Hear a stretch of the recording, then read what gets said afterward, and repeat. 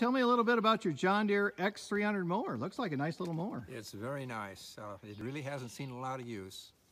We used it to bag lawn for a while, and then we went with the zero-turn mowers because we had a lot of mowing up at the cemetery, and that just kind of took preference. And so this has been semi-retired for a long time, so it's in excellent shape. Yeah, when we got here, you had your little lawn sprayer hooked up behind it. That's about what you used it for for the majority of the last couple years. Right, right. Only Just 245 hours, something like that, I think.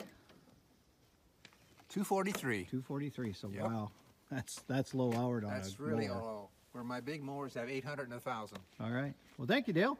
No problem.